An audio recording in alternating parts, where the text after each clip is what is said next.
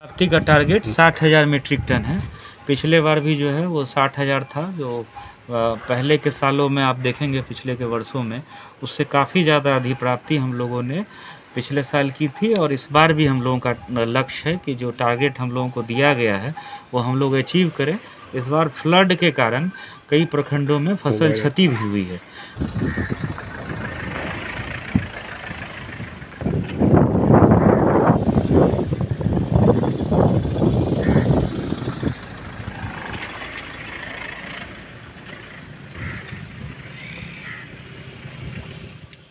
भागलपुर के जिलाधिकारी सुब्रत कुमार सेन ने एफसीआई गोदाम में निरीक्षण करते हुए धान एवं चावल के बारे में जायजा लिया। जिलाधिकारी ने बताया कि इस बार धान अधिप्राप्ति का टारगेट साठ हज़ार मैट्रिक टन है। पिछली बार भी साठ हज़ार मैट्रिक टन था। मीडिया से बात करते हुए जिलाधिकारी ने कहा कि धान अधिग्रहण का जो रेशियो है, वह पहले से अच्छा है। वहीं उन्होंने बाढ़ को लेकर कहा कि अपने कई प्रखंडों में बाढ़ का प्रकोप आ जाने से हम लोग थोड़ा पीछे हो जाते हैं। परंतु मिला जुला कर धान की खेती इस बार अच्छी हुई है। वहीं जिलाधिकारी ने कहा कि इस बार हम लोगों का टारगेट उसना चावल पर विशेष था। उसे पूरा कर लिया गया है। इस बार उष्णा चावल की अच्छी क्वालिटी भी मिली है और आगे भी उष्णा चावल की उपज पर विशेष ज़ोर दिया जाएगा। किसानों से भी जिलाधिकारी ने अपील की है कि उसना चावल की खेती पर विशेष ज़ोर दे। सरकार उसमें जितना भी सहायता कर सकती है, करेगी।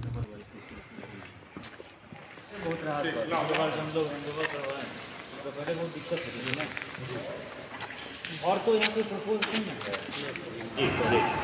ये पूछना है क्या होगा उष्णा और अरवा दोनों में। कितना बात कर लेंगे आपसे और दो तीन दिन में इसको करा दीजिए जो है हम लोगों का धान अधिप्राप्ति का टारगेट साठ हज़ार मीट्रिक टन है। पिछले बार भी जो है वो साठ हज़ार था जो पहले के सालों में आप देखेंगे पिछले के वर्षों में उससे काफ़ी ज़्यादा अधिप्राप्ति हम लोगों ने पिछले साल की थी और इस बार भी हम लोगों का लक्ष्य है कि जो टारगेट हम लोगों को दिया गया है वो हम लोग अचीव करें। इस बार फ्लड के कारण कई प्रखंडों में फ़सल क्षति भी हुई है।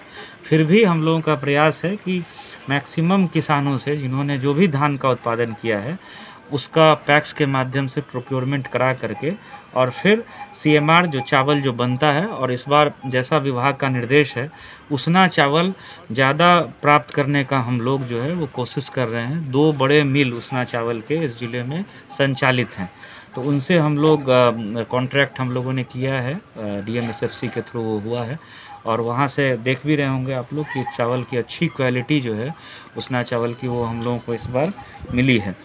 तो उम्मीद कर रहे हैं कि 40 से 50 प्रतिशत इस बार उसना रहेगा और अगले साल में और भी जो कुछ मिल भागलपुर में लगने वाले हैं तो उनसे हमारा प्रयास रहेगा कि शत प्रतिशत उसना चावल हम लोग प्रोक्योरमेंट के माध्यम से जो सीएमआर प्राप्त होता है, वो हम लोग रिसीव कराएँ और उसी को पीडीएस में डिस्ट्रीब्यूट कराएँ। यहाँ गोदाम में जो क्वालिटी चेक किया आपने उसमें क्या नहीं अच्छी है क्वालिटी अभी तक जो हम लोगों ने देखा एक तो पाँच हज़ार एमटी का लगभग पचास हज़ार क्विंटल जो है वो गोडाउन फुल भी हो गया है। उसका वेरिफिकेशन कल एफसीआई की टीम भी जैसा है बता रहे हैं कल परसों में आई थी। तो उन लोगों ने भी वेरिफिकेशन कर लिया है। तो इस बार उसना चावल का और अरवा चावल जो अभी तक आया है उसकी क्वालिटी अच्छी है और आगे भी हम लोग नज़र बनाए रखेंगे क्योंकि अभी चावल तो दो तीन महीने तक अब आना शुरू ही हुआ है।